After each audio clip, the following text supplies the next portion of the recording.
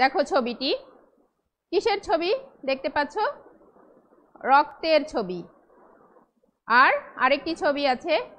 এই ছবিটি হলো হাড়ের ছবি বা অস্থির ছবি। তাহলে কি তোমরা বুঝতে পারছ? আসলে আমি কোন কবিতাটি তোমাদের পড়াতে যাচ্ছি? হ্যাঁ তোমরা ঠিক ধরেছ।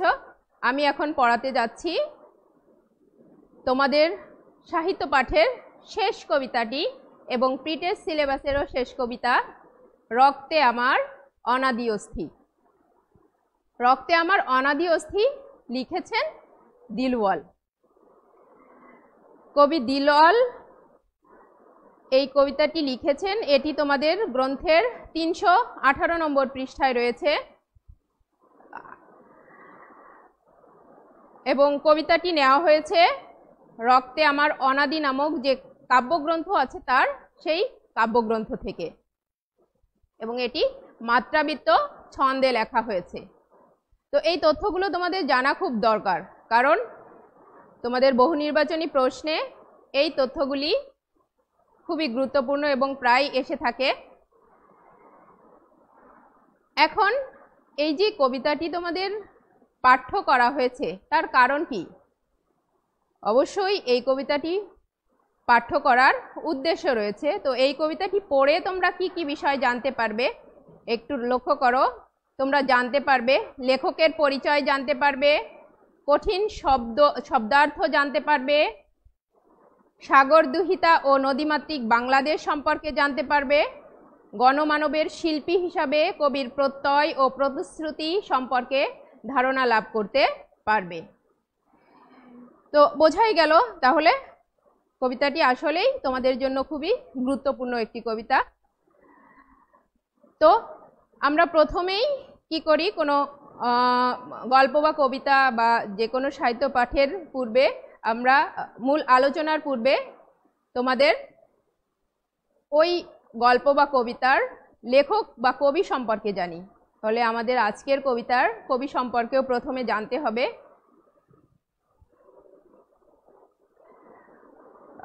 তো দেখো ছবিটি দেখো। ইনি হলেন কবি দিলবল তিনি জন্মগ্রহণ করেছেন উনিশশো সাঁইত্রিশ সালের পয়লা জানুয়ারি সিলেট জেলায় তিনি জন্মগ্রহণ করেছেন।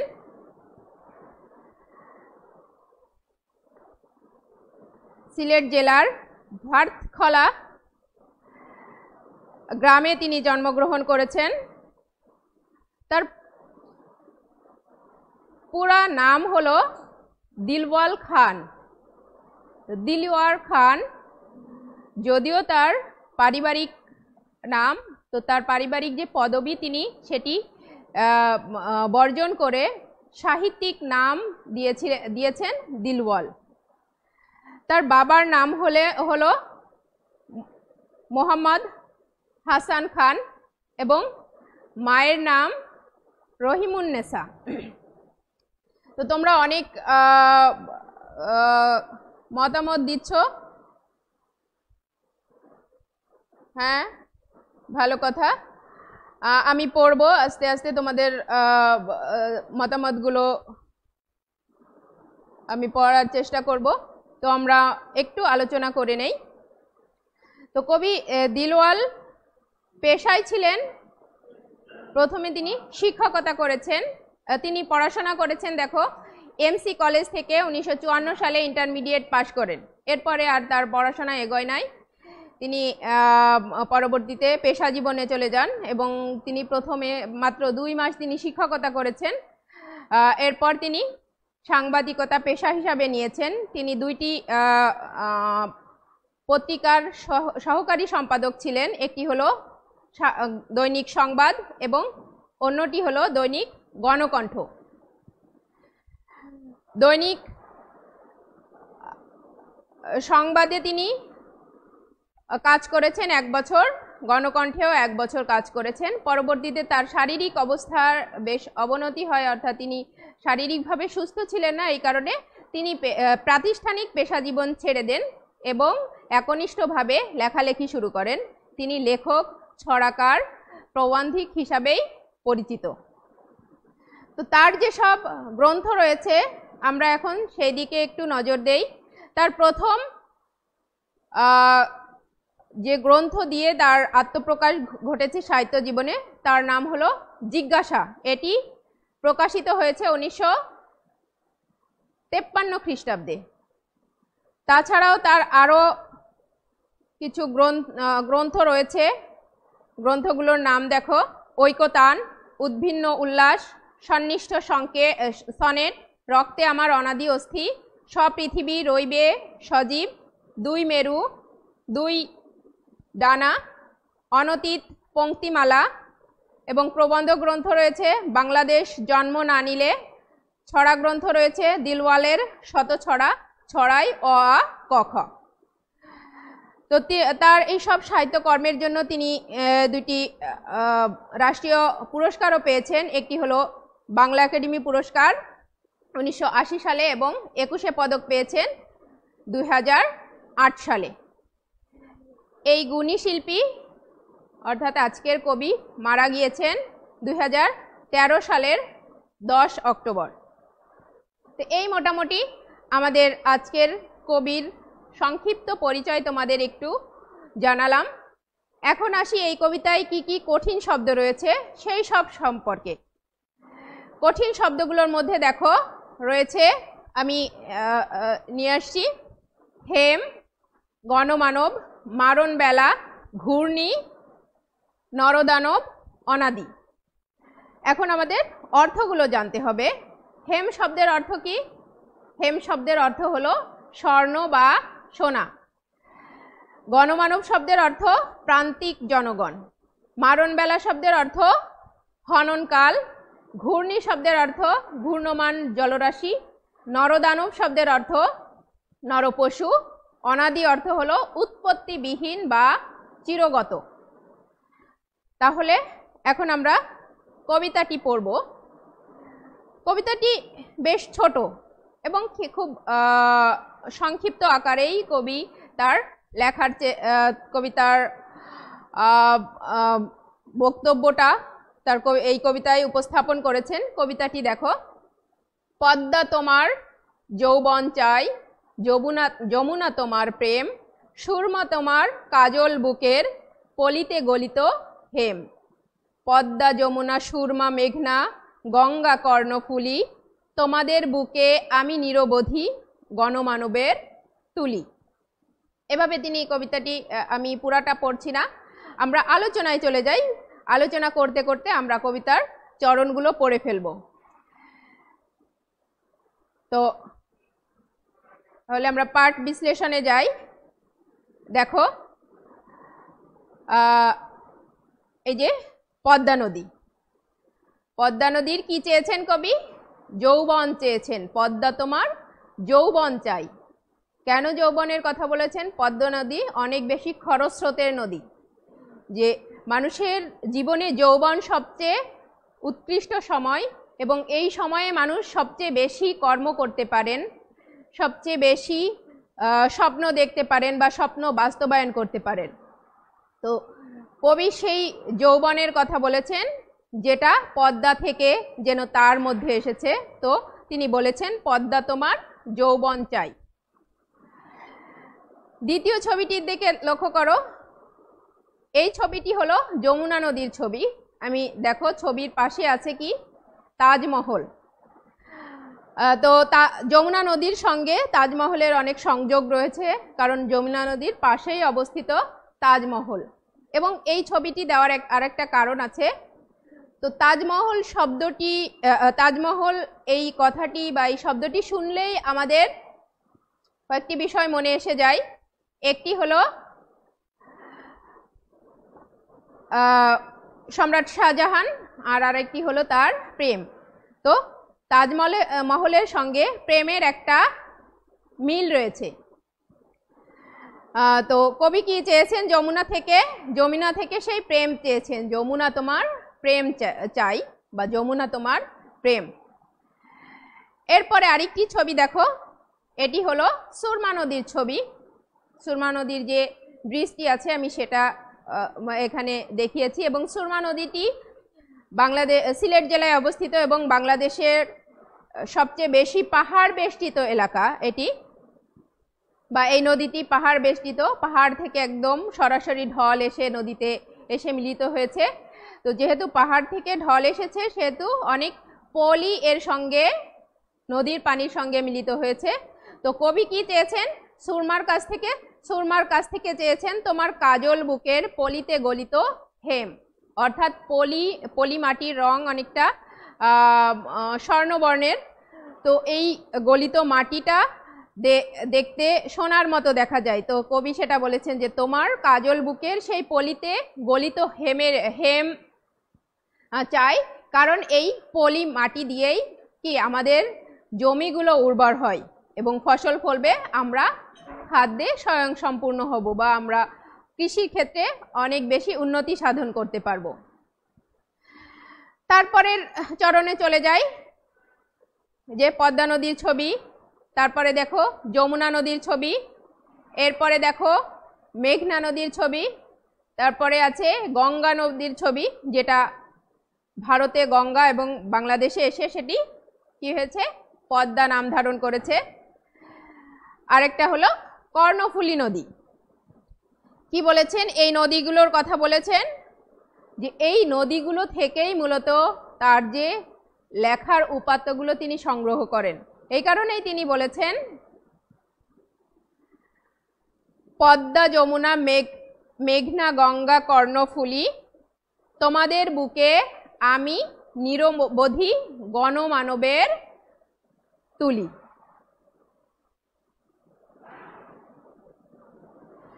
তো গণমানবের তুলি কেন বলেছেন? যে তিনি যেহেতু আমাদের গণমানুষের জীবনচিত্র অঙ্কন করেন, শিল্পীরা যেমন তাদের চিত্রের মধ্য দিয়ে মানুষের জীবনকে ফুটিয়ে তোলেন, তেমনি কবিতায় তিনি তার লেখনীর মধ্য দিয়ে জীবনকে তুলে ধরেছেন, এই জন্য তিনি বলেছেন গণমানবের কবি। এরপরে, কত বিচিত্র জীবনের রং চারিদিকে করেছে খেলা। অর্থাৎ প্রতিনিয়ত আমাদের জীবনের রঙগুলো পাল্টে যাচ্ছে। নতুন নতুন অভিজ্ঞতার সম্মুখীন হচ্ছি। সেই অর্থে তিনি বলেছেন, কত বিচিত্র জীবনের রং চারিদিকে খেলা করছে। তারপরে, তবে সেখানকার পথটা খুব সোজা নয়। সেখানে অনেক বন্ধুরতা রয়েছে, অনেক বিপর্যয় রয়েছে। তো সেই সেই জন্যই তিনি বলেছেন, মুগ্ধ মরণ বাঁকে বাঁকে ঘোরে, কাটাই মারণ বেলা। অর্থাৎ এই নদীর বাঁকে বাঁকে বা মানুষের জীবনের বাঁকে বাঁকে অনেক মরণ আঘাত হেনেছে বা অনেক দুঃসং দুঃসময় তাকে অতিক্রম করতে হয়। যেমন বর্তমানে আমরা একটি খুব কঠিন সময় অতিক্রম করছি। সেরকম নানা ধরনের সমস্যার মধ্য দিয়ে মানুষকে যেতে হয়। মানুষের জীবন কিন্তু একদম সহজ সরল হিসাবে চলতে পারে না। নদীর ঢেউগুলো যেরকম নতুন নতুনভাবে নতুন আকৃতি নিয়ে প্রবাহিত হয়, তেমনি মানুষের জীবনে অনেক ধরনের ঘাত প্রতিঘাত থাকে। তো সেই অর্থে তিনি বলেছেন যে, মুগ্ধ মরণ বাঁকে বাঁকে ঘুরে কাঁটাই মারণ বেলা, অর্থাৎ মানুষকে নানাভাবে আঘাত করে, তাকে শক্তিহীন করে ফেলে। এরপর আবার মানুষ সংগ্রাম করে তাদের জীবনে ছন্দে ফিরে আসে। তারপর দেখো, রেখেছি আমার প্রাণ স্বপ্নকে। দেখো, স্বপ্নের ছবি যে কি বলেছেন? তার স্বপ্নকে কোথায় রেখেছেন? বঙ্গোপসাগরের বিশাল জনসমুদ্র জলরাশির মধ্যে। কারণ কি? এর বিশালতা অর্থা বিশালতা বোঝাতেই মূলত তিনি বঙ্গোপসাগরের কথা বলেছেন। তার স্বপ্নে, স্বপ্ন অনেক বিশাল, গভীর। তো সেই অর্থে অর্থাৎ কবি অনেক স্বপ্ন দেখেছেন, কবি কিন্তু আশাহত নয়। আমরা যেরকম, যেমন এখনকার সময় আমরা ভেঙে পড়লে বা আশাহত হলে চলবে না, আমাদেরকে শক্তি নিয়ে এগোতে হবে। তেমনি কবিও তার এই কবিতায় তার স্বপ্নকে গভীর বা তিনি সবসময় যে আশা দেখেছেন সেটাই ব্যক্ত করার চেষ্টা করেছেন। পরবর্তী চরণে যাই। ভয়াল ঘূর্ণি, ঘূর্ণির ছবি দেখো ঘূর্ণিঝড়ের ছব- সে আমার ক্রোধ।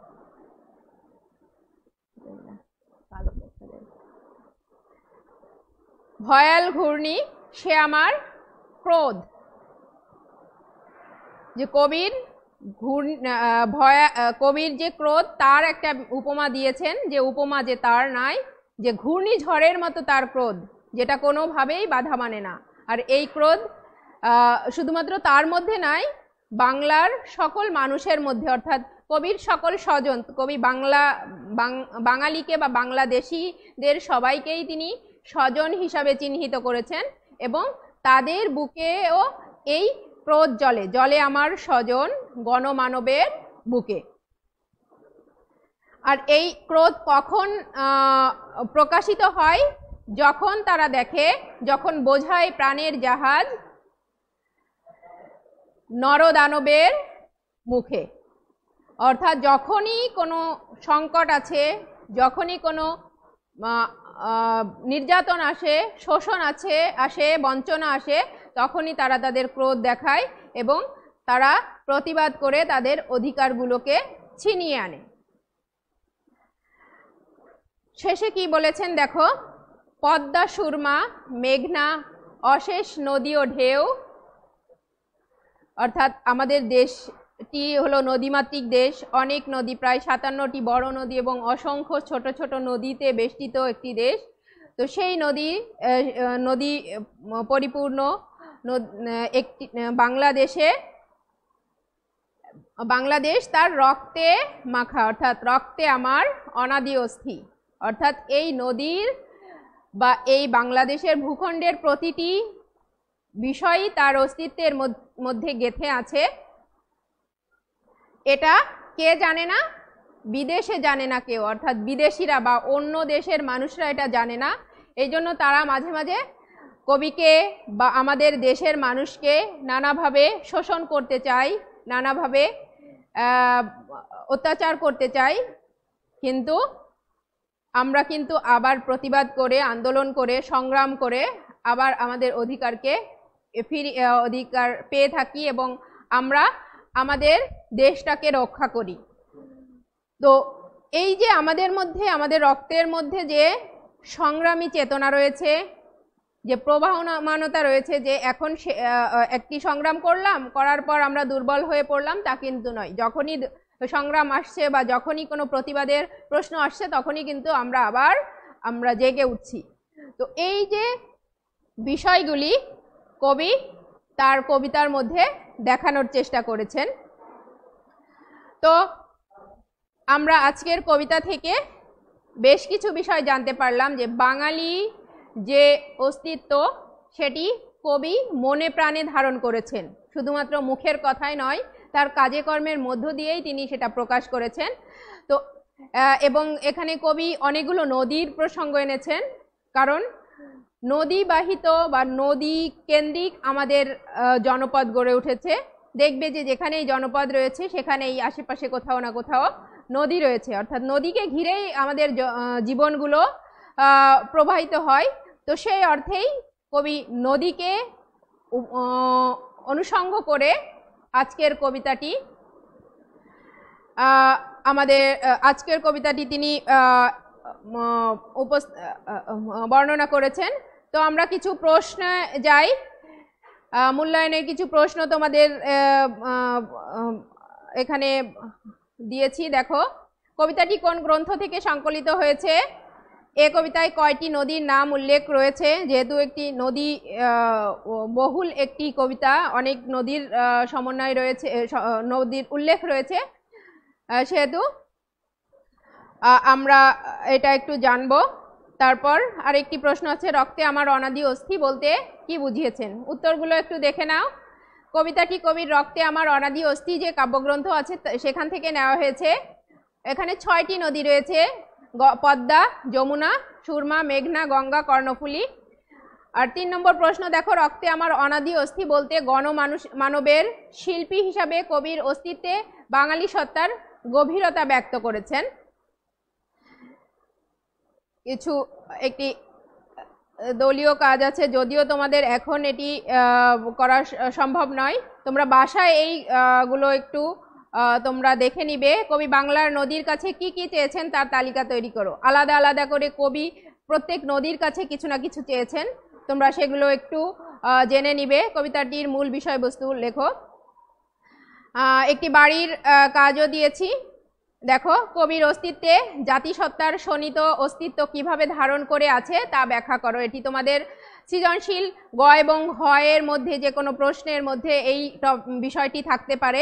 তো এই জন্য আমি এই বিষয়টি এনেছি।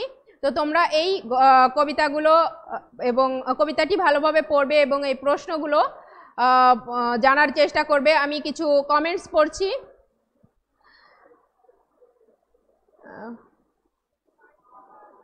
অনেকেই অনেক কমেন্টস দিয়েছ।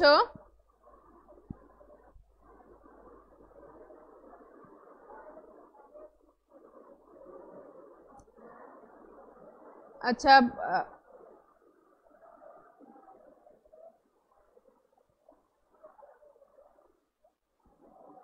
লাগে। আচ্ছা আমাদের অনেক টিচারও জয়েন করেছে। সবাইকেই শুভেচ্ছা এবং তেমন কোনো একাডেমিক প্রশ্ন নাই। তারপরেও বলছি যে, তোমরা একটা কাজ করবে, যে যেহেতু রুটিনটি অনেক আগেই দেওয়া হয়, তোমরা তোমাদের যে বিষয়, যেদিন যে ক্লাস হয়, সেই বিষয় সম্পর্কে আগে থেকে একটু ধারণা নিয়ে আসবে। তাহলে তোমাদের প্রশ্ন করতে সুবিধা হবে। তোমরা মতামতগুলো খুব সহজেই দিতে পারবে। তো কবিতাটি যেহেতু খুব ছোট এবং কবিতার বিষয়বস্তুও একদম সোজাই। কবিতার ভাব বা ভাষাও খুব সাবলীলভাবে, সরল ভাষায় লেখা হয়েছে।